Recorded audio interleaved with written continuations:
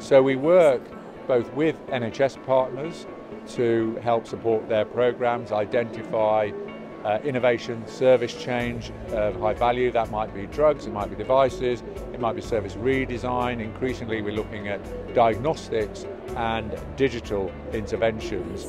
We work with innovators both in uh, the NHS, academia and industry to help develop their value proposition, to help them develop businesses, obtain investment and support the economic growth of uh, the country, uh, which in itself would increase well-being. And obviously we have strong links with the universities and academic health science centres uh, in terms of supporting, putting through uh, research of high value for patients and the population.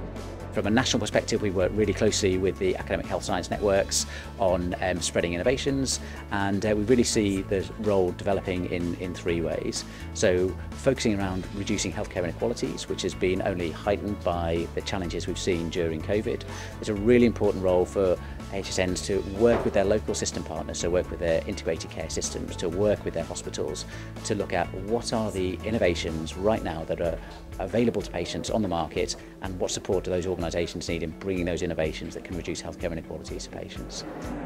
The NHS is a complicated beast as we're continuing to learn, and they've really helped us to connect the dots in terms of who's who, who do we need to connect with, and also presenting our story in such a way that it's going to be really compelling to the NHS. So they've been amazing. All the 15 AHSNs involve patients in different ways, but we collaborate together and we share good practice.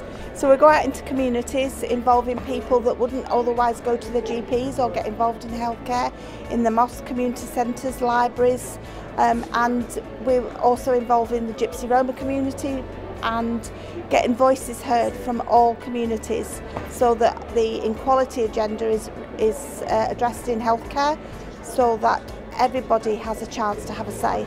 Secondly, we've actually got to be forward looking as well so that we're prepared for the next range of things coming through. So what support do systems need from HSNs to actually understand what's coming through in future years that systems and hospitals can start preparing for this year so that they're more prepared and that these things will get to patients more quickly.